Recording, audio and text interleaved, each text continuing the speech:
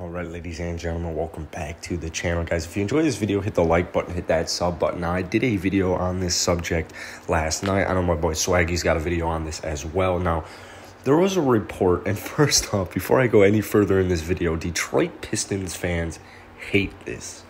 They hate this so much. They're like, we're not that stupid, you know, blah, blah, blah. Cade Cunningham's ours, blah, blah, blah. And then you'll have like that that outlier Pistons fan that's like, you know what, actually, this sounds not, this sounds somewhat legit.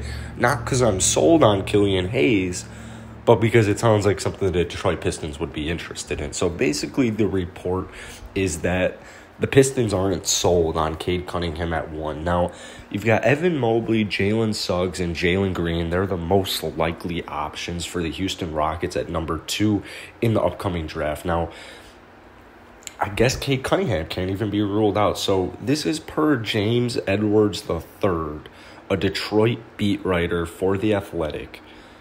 He wrote that Mobley and Green will be heavily considered by the Rockets as well. So here's here's exactly it. While Cunningham has been the consensus number one pick, it's not a lock that he'll be the top choice. Sources tell The Athletic that Green and Mobley, too, will be in heavy consideration for the number one pick. Now, Green is a 19 year old bucket getter who had tremendous flashes playing in the G League this past season. Mobley is a, I hate when they call him a unicorn, but quote unquote unicorn, a seven foot center with ball skills and an elite defensive skill set. So that is interesting. And first off, I want to comment on Evan Mobley because I just made a video on why the Rockets should draft Evan Mobley. I'll do a whole video about most of the prospects and why I think, you know, they could be drafted. They're upsides, their downsides. I don't like when people call Evan Mobley a unicorn because a unicorn is supposed to be something that is like rare and does not exist. I mean, Evan Mobley is just a seven foot athletic dude. I mean, that, that exists. Like, Anthony Davis was more of a unicorn in college. Like, he had the ball handling skills, he had the shooting in college. I, he, he was more of a unicorn to me, but this is crazy. This is absolutely crazy. Cunningham was he played at Oklahoma State. He he's been the number one front runner the entire season. So here's a quote. There simply aren't very many people on the planet who have the blend of size, shooting, and passing that he can provide for an NBA team, unquote. So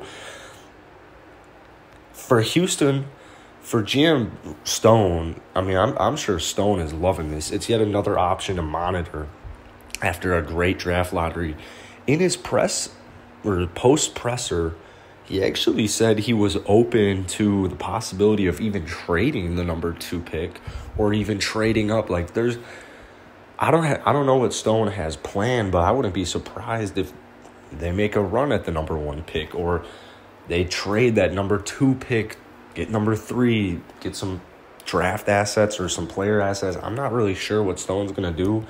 But all I know is the Rockets have somewhat of a chance to get Cade Cunningham. And to me, Cade Cunningham's the clear unanimous number one. I don't know why Detroit wouldn't want to get him at one.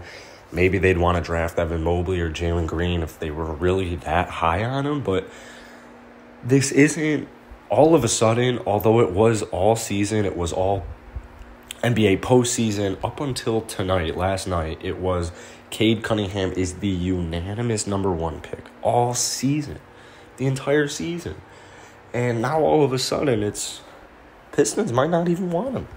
Or not that he, they don't want him, they're just going to monitor Mobley. They're very high on Green. There's a bunch of reports coming out that they've been high on Jalen Green. And like I said, man, Pistons fans are not happy about this. There was actually another report that came out from Sam Vecenie and he his quote was everyone seems to be acting like Cade Cunningham is the is a done deal and I'm not totally convinced of that right now. And that's a pretty verified trustworthy or I don't know about trustworthy but it's pretty verified source looking at about 100k verified on Twitter. So all these reports and like I said that Cade one was from a Detroit Piston writer for the Athletic. So the rumors and the rumblings they're about to start and I mean, this is something that Stone's going to be all over. You already know that. So, anyways, guys, that's going to be it for today. Hit the like button, hit that sub button if you enjoyed, and I'll see you guys later.